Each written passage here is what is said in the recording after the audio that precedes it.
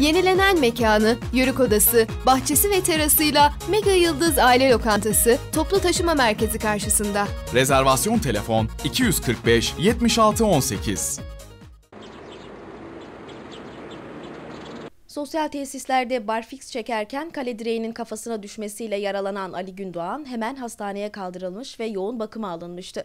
Balıkesir Spor altyapı sorumlusu Eşref Erkekoğlu, Ali'nin başına gelen kazayı ve arkasından yaşananları şöyle anlattı. Üzerine sıçrıyor fakat kayıyor ve e, öne doğru gidip geriye doğru geliyor tekrar direkt.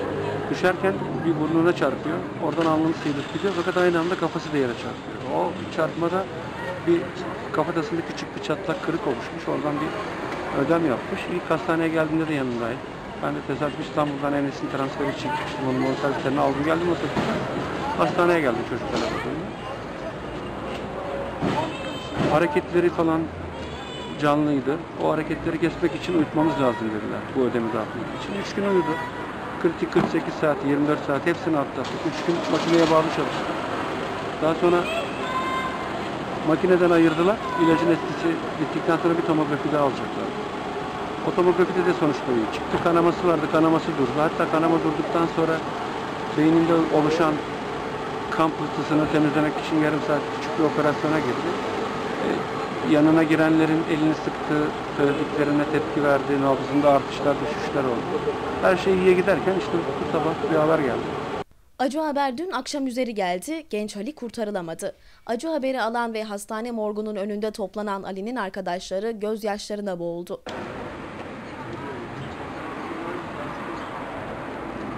Ali Gündoğan'ın cenazesi bugün Balıkesir Spor Kulübü önüne getirildi.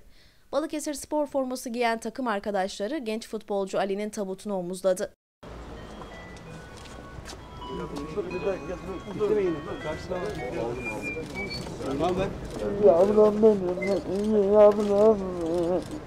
Balıkesir Spor bayrağına sarılı ve üzerinde 20 numaralı forma bulunan tabutunun kulüp binası önüne konulmasının ardından babası Hamit Gündoğan evladının cenazesine sarılarak gözyaşı döktü.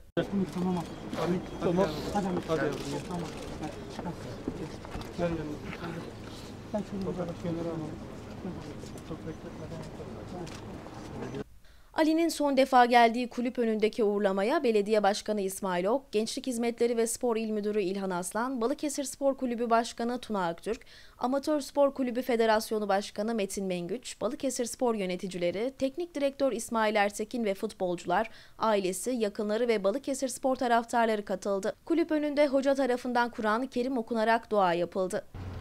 Değerli arkadaşlar, genç, dinç, dinamik, hayatının bağrında olan değerli bir kardeşimizi kaybetmenin üzüntüsünü hep birlikte yaşamaktayız. Hepimizin başı sağ olsun.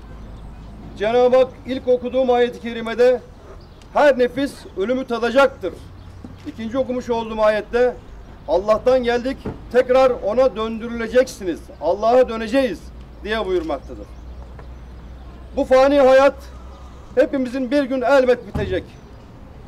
Tabi bu hayatı yaşarken her an Rabbimizle beraber olduğumuzu bilmemiz, Rabbimizin bizi gördüğünü ve rahmetiyle kuşattığını her an bu bilinç altında olmamız lazım. Duanın ardından Ali'nin babası Hamit, annesi Ayfer ve ablası Zeynep Gündoğan tabuta sarılarak ağladı. Yaktın ya beni Allah'ım. Yakışmadın da bunlara oğlum. Oğlum, oğlum. Hadi çekelim. Ay yavrum yolladım seni ben buraya. Arkadaşlar buyurun.